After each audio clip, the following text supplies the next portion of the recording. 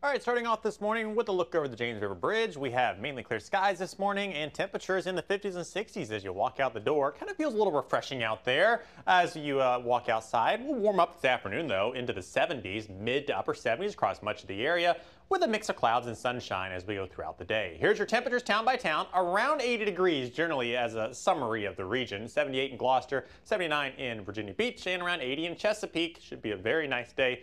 Overall, thanks to high pressure that is still in control. However, if you look up to the north and west toward Chicago, there is our change that's going to be pushing into the area. This front will be diving south and east and make it into our area by Saturday. Ahead of it on Friday, a little bit more cloud cover expected throughout the day as we go through the morning and into the afternoon. Today, a mix of clouds and sunshine, just your fair weather cumulus clouds out there with a touch of an easterly wind. Should be a nice day overall. Friday, we see a bit more of a northeast wind and the clouds will increase, especially through the morning into the early afternoon. Our model does want to break the clouds up a little bit Friday night, a little hesitant on that, but either way, uh, not expecting any major rain Friday night chance for a few showers on Saturday, and then that's about it. You notice there wasn't a huge batch of rain as this front comes through. Rainfall totals should be pretty light. Most areas receiving probably under a tenth to two tenths of an inch of rain, if that, because the rain will be kind of scattered around, so not everyone will see it. What everyone will see, though, is the big drop in the dew points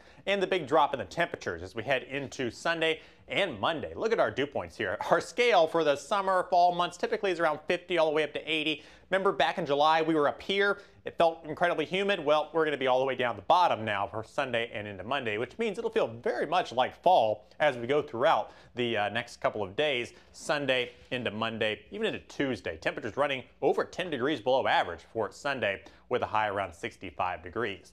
Speaking of fall, it is starting to be that time of the year when we look for a little bit of fall color and the latest update from the folks at Explore Fall showing that there's a little bit of minimal color across some of the Piedmont of Virginia and North Carolina, but most of it's still in the higher elevations as we would expect for the early part of October.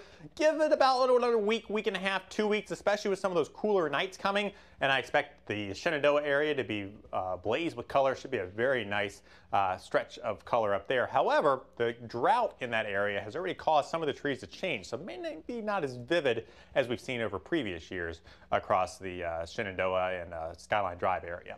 In the tropics, we've got Philippe, which is starting to make its trek finally to the north. This system will quickly move past Bermuda Friday and into Saturday and actually make its way towards Maine as a tropical cyclone as we head into Sunday. Now, likely weakening into an extratropical cyclone as it does so, but even with that, we'll see some waves along our coastline as we head into the weekend. Some places in the Outer Banks could see waves of six to seven feet. Here's a look at the seven day forecast. Notice breezy as well Saturday and Sunday. So it is uh, Aisha approved weather for Sunday. Mm -hmm. It is Ricky approved weather for Thursday. And Katie, uh, I don't know, I feel like you're kind of just go with the flow sometimes. So that's the story of my life. Yeah. And that's how I remain so happy. I just, whatever it is, it is. And I just show up happy. See the way my anxiety is set up?